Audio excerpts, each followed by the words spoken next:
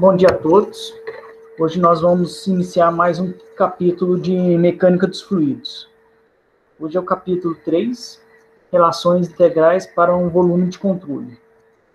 É, esse capítulo a gente vai começar a estudar o fluido já em, em movimentos, coando.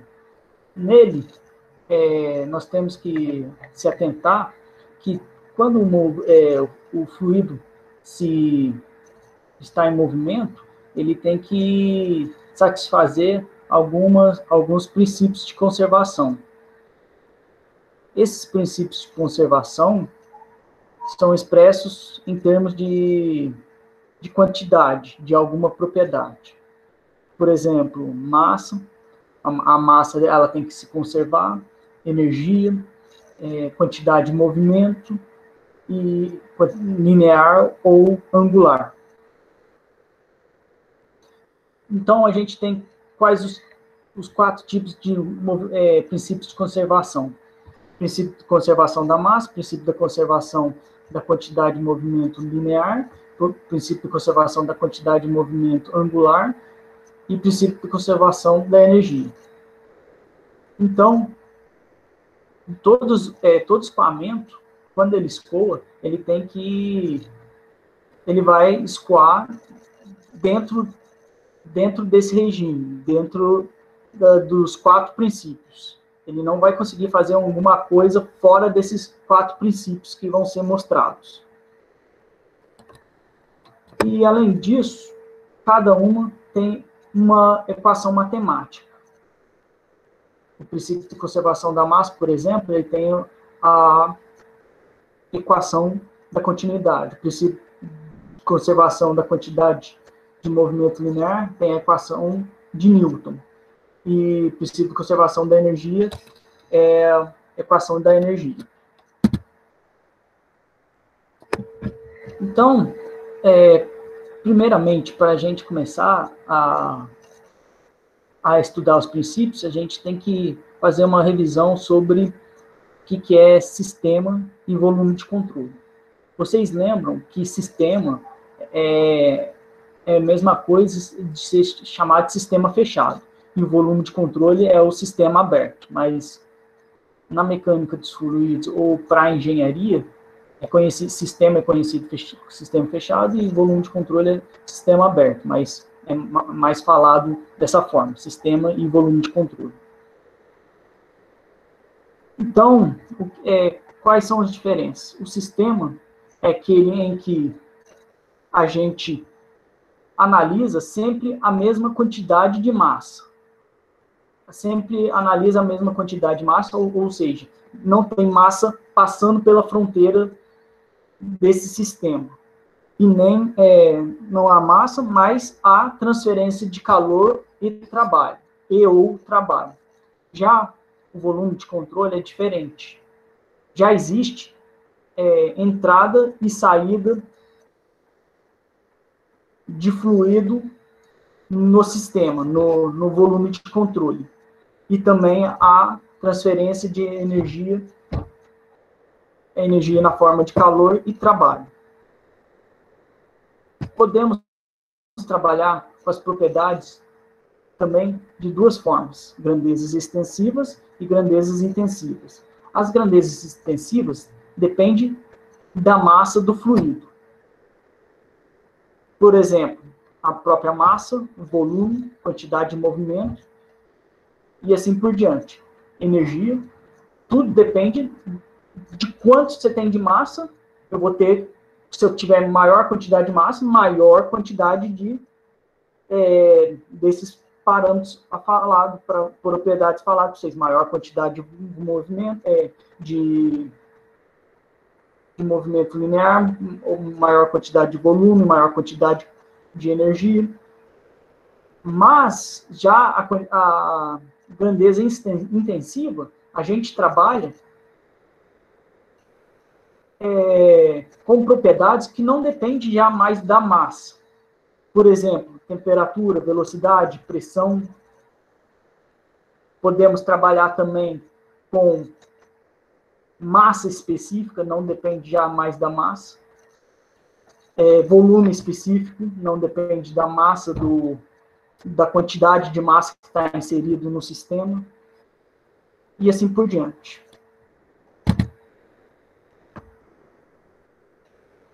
A gente pode fazer é, a, a seguinte coisa, é, trabalhar com a seguinte, da seguinte forma, com as propriedades extensivas e intensivas. A propriedade extensiva é igual a massa do sistema vezes a propriedade intensiva. Então, propriedade intensiva vezes a massa me dá a propriedade extensiva. Como aqui mostrado no exemplo. Uma quantidade é uma propriedade B extensiva é igual ao beta, que é uma propriedade intensiva, vezes a sua massa. A minha massa é, é dado por quê? Rho vezes o volume. Então, aqui está Rho vezes um volume elementar. Quando a gente faz isso, querendo saber, determinar qual que é o, é o qual que é a propriedade intensiva de massa, como é que a gente faz? A gente vai jogar, se nós jogamos a propriedade massa na propriedade extensiva, qual que será a propriedade extensiva beta? Então, é, pegamos essa parcela e esse termo aqui. dm igual a beta rho dv. dm é o quê? É beta vezes dm, que é essa parcela aqui, que é esse termo aqui. Nós fizemos rho dv virar dm de novo, né, que é o minha massa elementar. Como eu tenho aqui dm e aqui dm, então qual que eu, quanto que vale beta? meu beta vale 1. É uma propriedade unitária para é, a propriedade intensiva é unitária para massa. Ou seja, dm é igual a ρdv. Agora, um outro caso, para a quantidade de movimento. Quantidade de movimento é massa vezes velocidade, que a sua unidade é quilo vezes metro por segundo. Então, temos que Q é dm vezes velocidade, que é igual a pegar esse, esse termo aqui, jogar nesse termo aqui, ρ, não, beta, ρ, dv. Fazendo novamente o, o termo da direita, beta, é, o ρ dv é meu dm. Então, fico com dm, é beta dm do, do lado direito da igualdade observamos que é o quê? Para a igualdade ficar a mesma, o beta tem que valer quanto? É, tem que ser o quê? A velocidade. Ou seja, meu, a minha propriedade intensiva é para quantidade de movimento é velocidade. Aqui nós observamos que aqui minha quantidade de movimento é igual a P rho dv. Esse aqui é minha propriedade intensiva para a quantidade de movimento, que é minha propriedade extensiva. Então, o que, que nós vamos fazer? A minha propriedade extensiva no sistema é igual ao quê? No sistema é igual a integral do volume do sistema, é beta, que é a propriedade intensiva, rho dv. Eu quero saber em todo o sistema qual é a propriedade extensiva. É a minha propriedade intensiva vezes o seu dm. E todas as leis da termodinâmica são escritas para um sistema, ou seja, é, defini é, que é definido como uma quantidade de massa de identidade fixa. E por a gente estar trabalhando com é, relações integrais para um volume de controle, nós vamos observar, é, estamos interessados no quê? Saber o que o fluido é, passa em um determinado volume de controle, ou seja, o sistema passando no volume, no volume de controle, no exato momento que o sistema está dentro do volume de controle. A gente quer saber isso. A gente faz é, as equações com relação ao sistema, isso aqui é o sistema, mas a gente quer saber quando é, o sistema está no exato momento passando pelo volume de controle. Por quê? A gente está interessado em saber o comportamento, é, os efeitos do fluido no volume de controle. E não estamos interessados em saber, se a gente fosse estudar o sistema escoando, não estão interessados em saber qual seria o comportamento desse, desse fluido escoando. Isso no capítulo 3, que nós estamos estudando é, relações integrais para volume de controle. No próximo capítulo a gente já vai ver diferente. Vai fazer uma análise não estudando para um volume de controle, e sim estudando o sistema ao longo de um escoamento. Então, do princípio de conservação da massa, nós temos que a propriedade extensiva, o princípio de conservação da massa, é a própria massa. Massa é a minha propriedade extensiva. E observamos que, que a, a massa em relação ao tempo, que quando a gente fala que é sua derivada em relação ao tempo, mas colocamos desão, ele acompanha o sistema. Então, seja, a massa, a variação da massa em relação ao tempo, no sistema, ela vale quanto? Zero. Porque não, não sai nada na massa e não entra nada dentro da massa, quando a gente analisa o sistema. Ou seja, a massa se conserva. Isso é, não pode ser criado e nem destruído. Então, nós temos essa relação aqui. Derivada da massa em relação ao tempo é igual a zero. Isso considera, para consideração, considerando um sistema. Princípio de conservação da quantidade de movimento linear. Também pode ser conhecido como momento linear ou somente momento. Isso aí é o que? Nós fazemos agora o quê? Qual que é a propriedade de nossa extensiva?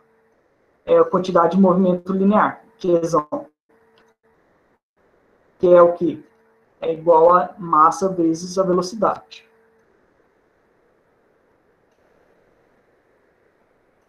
Observamos que a nossa força é massa vezes aceleração. Aceleração é o que? Massa vezes a derivada da velocidade em relação ao tempo.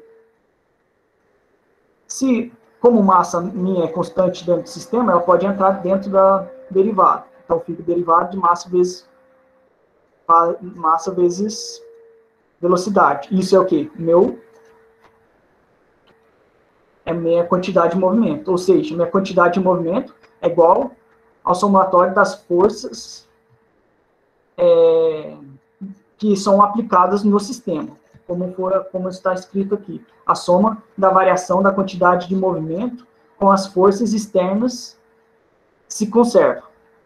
Então, todas as forças que são aplicadas no sistema são conservadas com a quantidade de movimento, com a variação, da, com a derivada, com a variação dessa quantidade de movimento em relação ao tempo, num pequeno, num pequeno tempo. Agora, o princípio de conservação da quantidade de movimento, agora não é linear, agora sim é angular. Então, como é angular, é a mesma coisa de falar que ele quer saber a força vezes o vetorial, o raio. Então, é o que? Nós temos a massa vezes R vetorial V. A massa a derivada da massa R vetorial V em relação ao tempo do sistema é igual ao que? É o somatório é de R vetorial. Desculpa, gente, aqui está errado. Não é R vetorial V, não. É R vetorial F.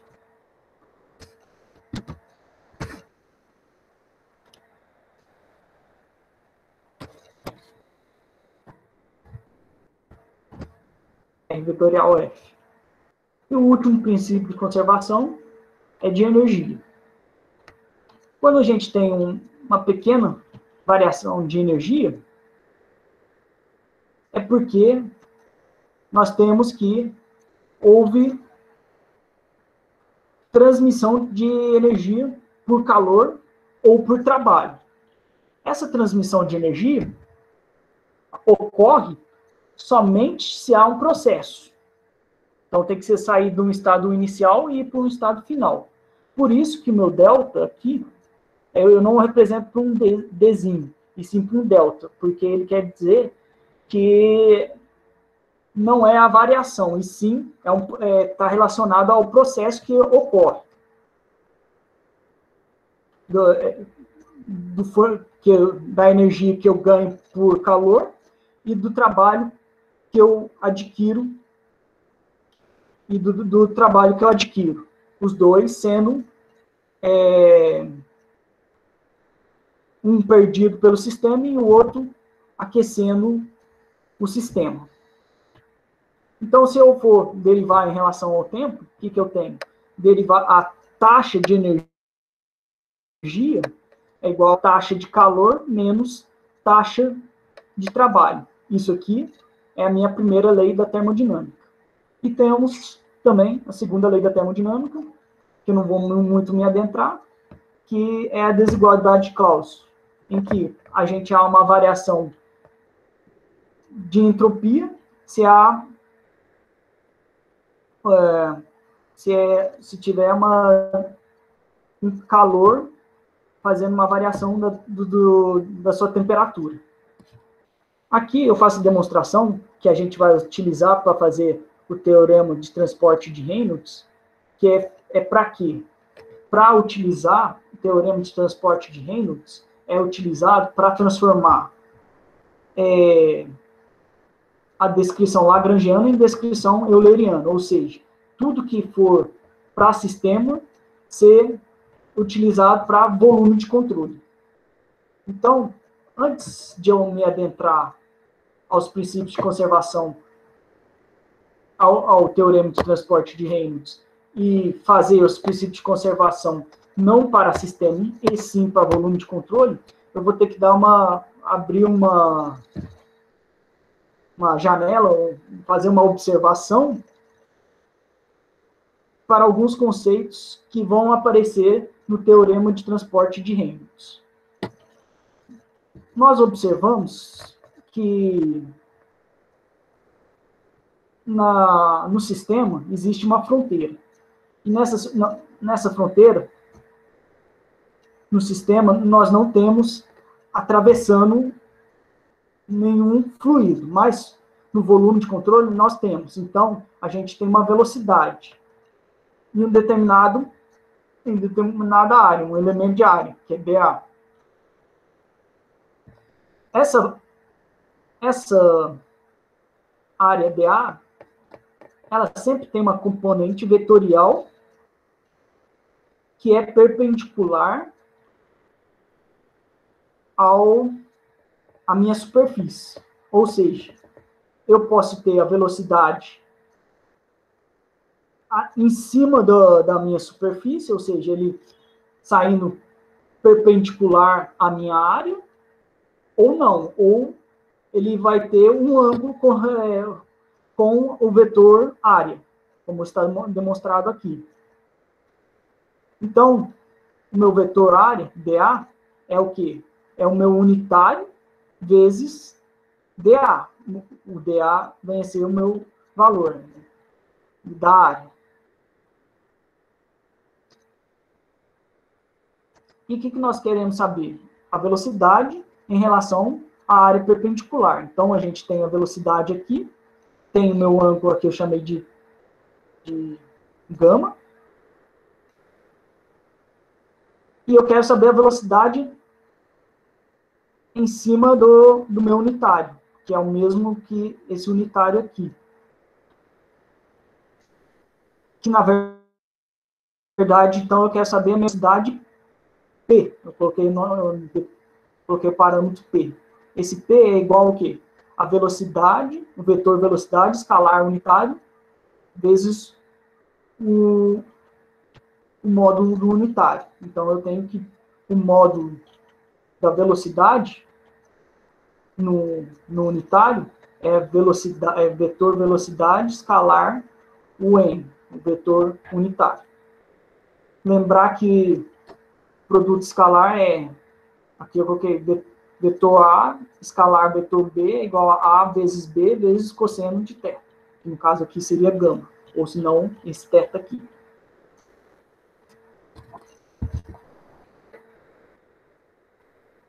Então, em volume de controle, como a gente tem uma massa saindo ou entrando, no caso aqui, ela está saindo, porque a área achorada aqui seria o meu, a minha superfície.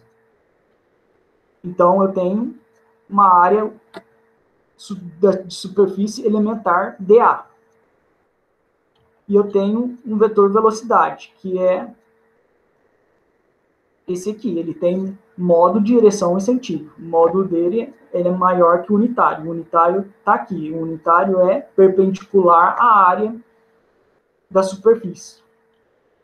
Então, o que, que eu tenho? Que o volume vezes o tempo me dá minha vazão. A minha vazão é calculada de que forma? H é quanto que eu consegui de volume. Esse aqui é o meu volume. Quanto que eu consegui no tempo de volume. Esse aqui representa essa velocidade aqui, minha, representa no, no tempo t quanto de volume que eu adquiri. Então, aqui é o meu volume que eu adquiri nesse tempo. É, ou seja, é, meu, é minha taxa é minha vazão volumétrica. É o meu volume que eu consegui tirar no tempo dt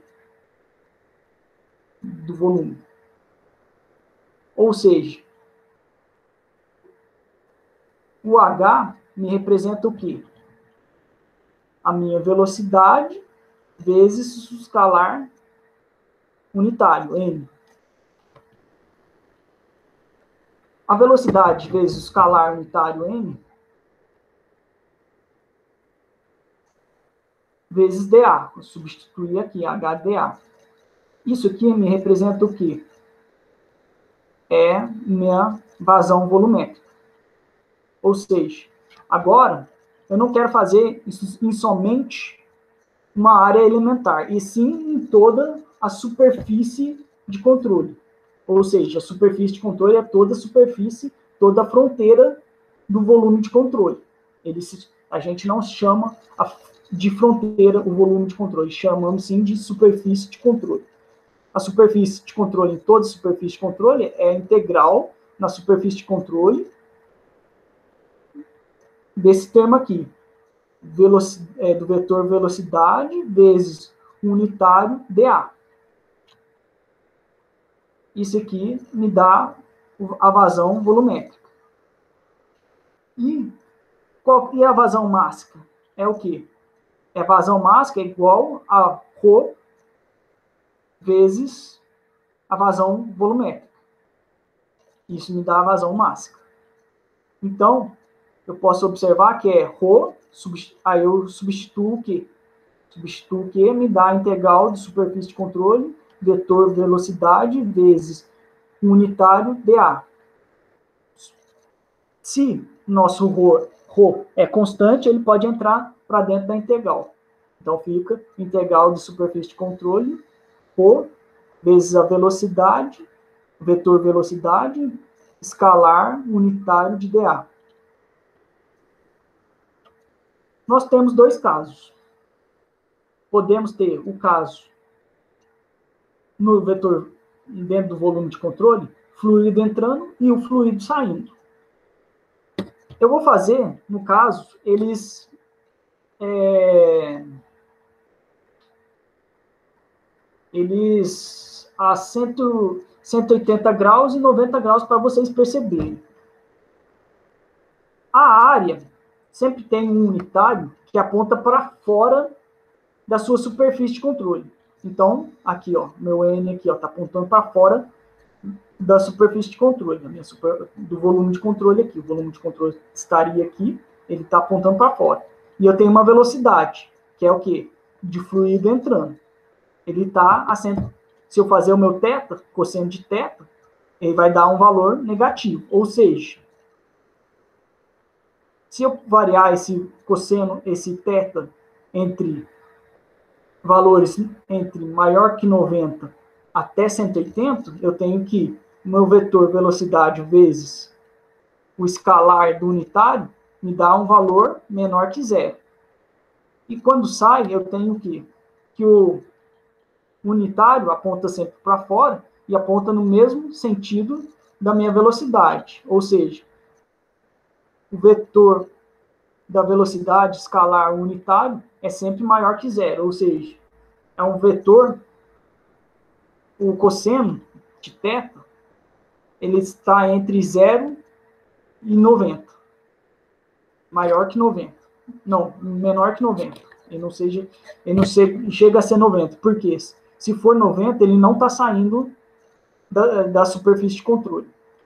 Então, o que serve nosso teorema de transporte de Reynolds? Como eu já havia falado, é o que? É converter uma análise de análise de um sistema, que é uma descrição lagrangiana, que é o que?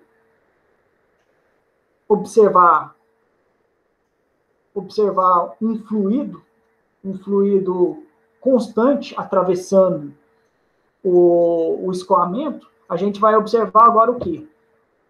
Uma região delimitada e observar o escoamento nessa região delimitada. Para que eu faça isso, eu já tenho umas equações no sistema, mas eu preciso saber no volume de controle. Para que eu faça isso, eu preciso saber o teorema de transporte de Reynolds. Ele que interliga o sistema com o volume de controle.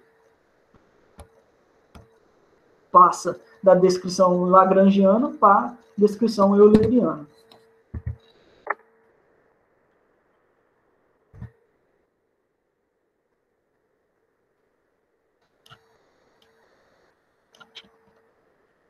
Ou seja, vamos, vamos fazer, nesse caso, o volume fixo e unidimensional, ou seja, a gente tem esse volume de controle fixo, mas na verdade ele também pode ser móvel. Mas para facilitar o nosso entendimento, vamos fazer de uma, da forma mais fácil.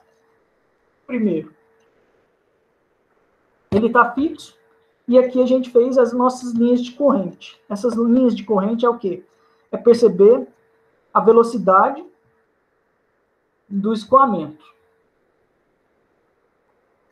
chamamos, no primeiro momento, que o sistema está sobre o volume de controle.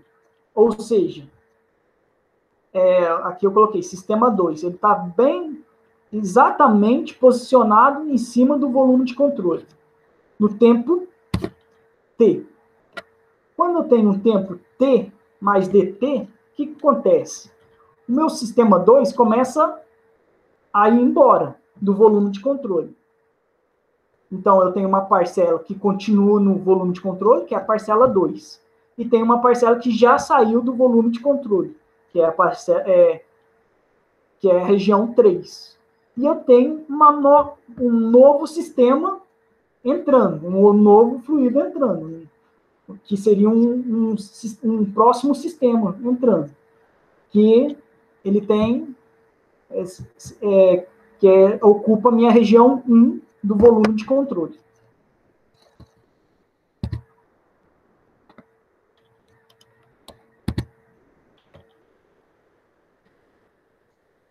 Então, lembrando que, que as grandezas extensivas que nós temos é para princípios de conservação da massa, nós temos que é massa, massa vezes velocidade, eu falei o quê? Princípio de conservação, né? Dos princípios de conservação é massa, massa vezes velocidade, massa é R vetorial velocidade e a energia. As grandezas intensivas dos princípios de conservação são o, velocidade, R vetorial V e a energia específica. Então, eu, eu mostro por exim. Das propriedades, é, da equação de sistemas, nós chegamos que ao, qualquer propriedade extensiva, no, aqui eu coloquei volume de controle, mas eu estou errado. Aqui é, é, no, é. Só. É no volume de controle, é integral do volume de controle beta rho dv. Então, o que, que nós temos? O que, que nós temos que fazer? Nós temos que a taxa de variação é, B de qualquer de uma propriedade, B no volume de controle, com taxa de variação é, B do sistema 2 é igual a B2 no, no tempo t, parte-se da definição de derivada temporal. Ou seja, a gente tem a derivada temporal disso aqui, de, da propriedade B no volume de controle, é igual ao quê? A propriedade no tempo t mais delta t, que é o quê? A propriedade no volume de controle no tempo t mais delta t, menos a sua variação dessa propriedade no tempo t. Ou seja, o que nós temos? Na, na posição t mais delta t, nós temos a propriedade 2 t mais delta t menos o que saiu e mais o que entrou, mais as propriedades que saíram e que entraram. Que é beta rho dv, que, entra, que saiu, e beta rho dv, que entrou. Que vai me for, formar a propriedade, esse aqui é a propriedade B3 e esse aqui é a propriedade B1. E aqui eu tenho B2 no tempo T.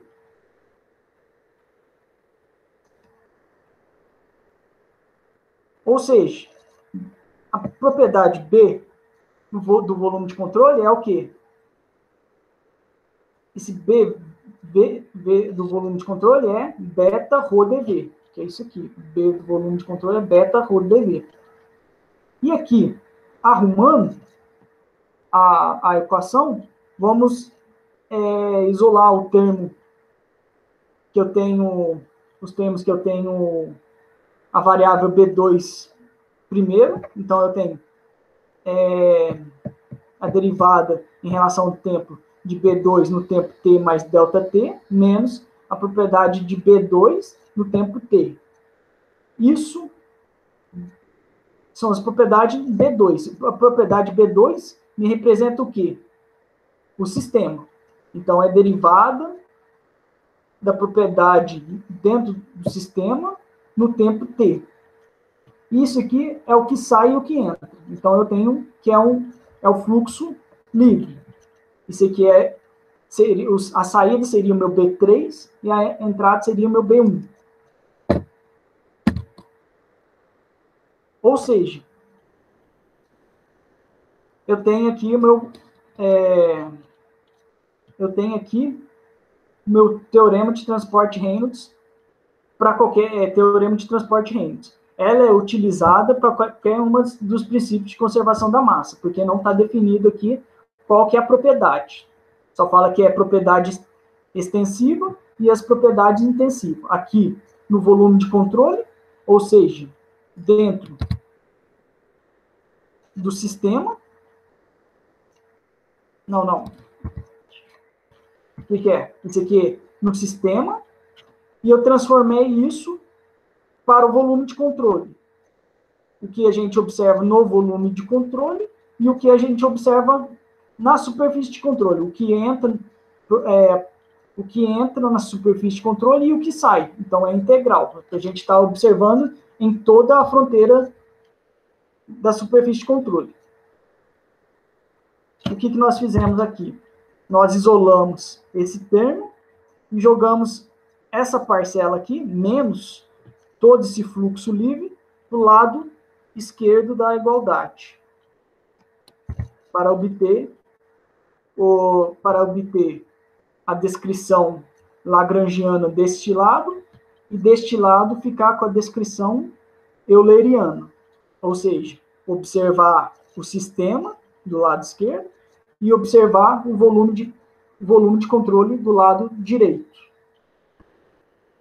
A primeira parcela é o que? É a taxa de variação de B dentro do sistema, do sistema 2, que é o, é, o sistema que nós observamos no, no tempo T, em que ele ocupa o volume, o, o volume de controle fixo.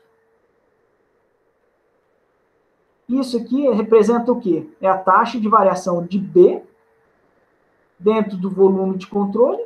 Isso aqui é o meu fluxo líquido de B que entra e sai do, da superfície de controle. Entendido?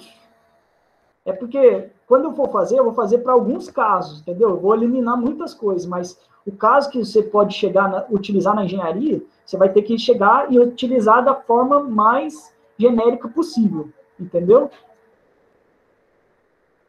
Depois, na hora que eu vou fazer os exercícios, eu vou eliminar. Por você fazer várias hipóteses, você vai eliminar várias coisas mas na hora de você utilizar essas equações, pode ser que você não consiga eliminar algumas das hipóteses que eu farei, entendeu? É, muita informação, eu acho também. Vamos aplicar o teorema de transporte de Reynolds na conservação da massa. Nós temos que, para a conservação da massa, a propriedade extensiva é a própria massa, a massa do sistema. E a propriedade intensiva vale 1. Então, se nós jogarmos no teorema de transporte de Reynolds, lembrar aqui, ó, teorema de transporte de Reynolds, o que, que nós temos? B do sistema. É a mesma coisa de M do sistema. Lembrar que o da onde que eu vim, lá do sistema, quando eu fiz o princípio de conservação da massa do sistema, para sistema, eu falei que isso aqui, conservação da massa do sistema, é igual a zero, ou seja, eu não tenho eu não posso criar massa nem destruir a massa. A massa é, é constante. Ou seja, então isso aqui o sistema, a massa do sistema é igual a zero. Não posso aumentar de massa nem diminuir de massa. Foi o que eu representei aqui. Eu falei que ele é igual a zero. A massa do sistema é igual a zero. Ou seja, eu só vou ficar com a parcela do volume de controle. O que está é, o que está dentro do volume de controle e o que está saindo, entrando e saindo do volume de controle. Como meu beta é um valor unitário, 1, se eu for substituir o beta aqui e o beta aqui, eu fico com o quê? Rho dv, e aqui eu fico com Rho vetor velocidade escalar NDA. Por isso que eu fiz aquela observação, eu abri aquele parênteses nosso, para depois entrar em princípio, é, teorema de transporte de Reynolds. Porque eu vou utilizar aqui aquele, aquela observação foi, que foi feita. Agora, o que, que nós vamos fazer? Eu tenho ele, princípio de conservação da massa. Foi feita, tá, tá aqui, de um caso, numa forma geral. E vamos fazer o quê? Vamos fazer simplificações para esse para essa para esse princípio de conservação da massa. Primeiro caso que a gente vai fazer é se a gente tem, é, em vez de a gente saber, é, em vez de ter no, na superfície de controle um número é, um número infinito de entrada e um número infinito de saídas, aí teria que calcular a integral. Como a gente, a gente vai fazer que tem um número, você sabe, tem um certo número de entradas, um certo número de saída, a gente pode fazer, tirar a integral e fazer o somatório. Tirar essa integral de superfície de controle, faz o somatório, isso aqui vem o quê? Ser a saída menos entrada, somatório de Rho VA. Por quê? Porque VA, V escalar M, me dá V. V derivado do a integral de dA me dá A. Então eu fico com Rho VA. Isso na saída e eu tenho a entrada. Se eu quero aqui eu tenho o número de saídas e o número de entradas.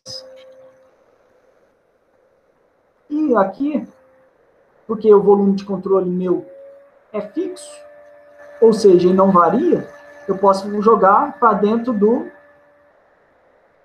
o, é, derivada do tempo para dentro da integral. Eu fico com isso aqui. Volume de controle para dentro da integral. O integral do volume de controle derivada em relação ao tempo para dentro da integral. O que, que nós vamos fazer também? Se vocês lembram, a gente tem também regime estacionário e regime permanente. Regime estacionário, se a gente for trabalhar, o que, que a gente define quando a gente trabalha com regime estacionário? As propriedades variam com o tempo. E o regime permanente é o quê? As propriedades não variam com o tempo. Por exemplo, eu tenho várias máquinas que elas estão trabalhando há muito tempo. Está ligado e já está trabalhando naquela mesma condição há muito tempo. Ou seja, ela já está numa condição é, permanente. É, as propriedades já não vão variar ao, ao, ao, longo do tempo. Então, esse aí é um caso de regime permanente. Que nem um avião, quando ele está em cruzeiro. As propriedades suas já não variam mais com o tempo. Então, ele já está em regime permanente. Mas o avião decolando e aterrizando, as suas propriedades já variam com o tempo. Então, eu tenho que tratar com o regime estacionário. Ou seja, quando. O que acontece? Quando eu trabalho com regime, a diferença entre um regime e outro é que vai sumir uma variável. Qual que é a variável que vai sumir dos meus problemas? É o tempo. Que é no caso do regime permanente. O regime regime permanente, eu não trabalho com tempo. Não, não preciso saber nada com relação ao tempo, porque ele não modifica suas propriedades. Então, é o, é o caso que é aqui embaixo, a equação é aqui embaixo. O que, que eu fiz? Como aqui é igual a zero, eu, isolei, eu joguei esse primeiro termo para o outro lado, da igualdade. E tenho aqui o somatório da saída menos entrada. E eu tirei essa parcela aqui. Mas ele está em regime permanente, eu excluo isso aqui, porque isso aqui depende do tempo. Então, eu vou ter isso aqui é igual a zero. Mais isso aqui, aqui, ó, que eu cancelo isso aqui, é igual a zero. É isso aqui. Mas esse, é, esses dois termos é o que? É essa parcela aqui. Por isso que está sendo representado dessa forma aqui. Essa parcela é isso aqui. Ou seja, isso aqui é minha igualdade, ó.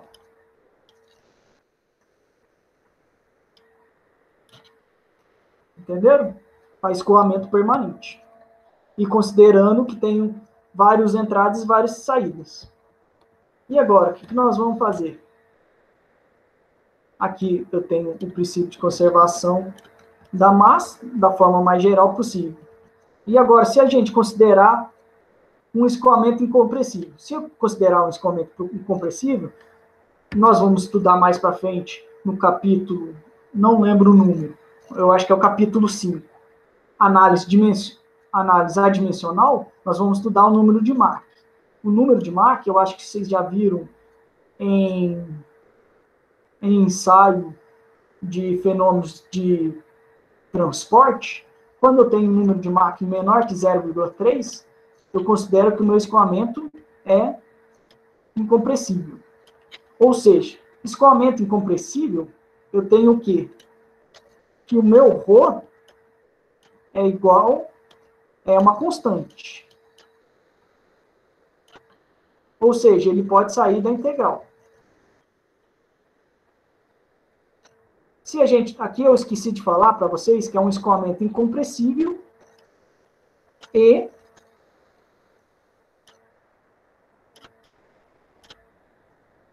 permanente.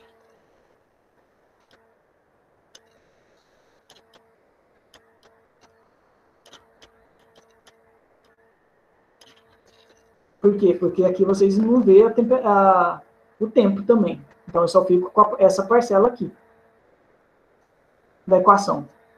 Isso é igual a zero. Então, como eu posso tirar da, da igualdade, eu tinha um rho aqui em cima. Eu, jo eu jogo para o outro lado da, da igualdade, ele, eu zero, eu zero isso. Eu fico, então, apenas somente com isso aqui. Quando eu considero uma, é, eu tenho definido número de entradas e número de saídas, eu posso fazer o somatório. Somatório do quê? Somatório das entradas, somatório das saídas. Eu fico com, com o quê? V escalar N. V escalar N é o quê? É V. E eu tenho integral de dA é minha própria área. Então, eu tenho V, V vezes a área para determinada entrada. Eu tenho várias... Não, entrada não, saída. Então, eu tenho na, na saída 1, eu tenho V, 1, área 1. V, v vezes a área me dá o quê? A vazão volumétrica. Aqui eu já igualei, porque está igual a zero aqui, então igualei a, a, a saída com a entrada. Ou seja, para escoamento incompressível e permanente, eu posso falar que o volume, é, a vazão, a vazão volumétrica de entrada é igual à vazão volumétrica de saída. E para, no caso de, de escoamento permanente, que é compressível, eu tenho que eu tenho um rho. Então, eu tenho que isso aqui, eu posso, se eu passar isso aqui para o outro lado da igualdade, eu tenho que a vazão mássica que sai é igual a vazão. Opa,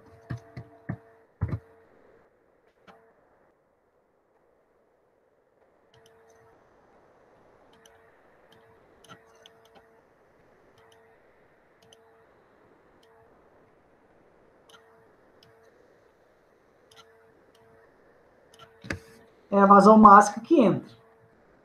Ou seja, para a gente conseguir a velocidade média, a gente faz o quê?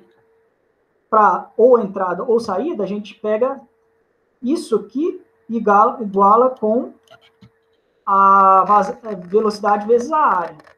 Então, eu tenho que, que minha vazão volumétrica para uma determinada entrada ou saída é igual a velocidade vezes a área. E eu consigo determinar a velocidade. Essa minha velocidade, como mostrei aqui, é a minha velocidade média.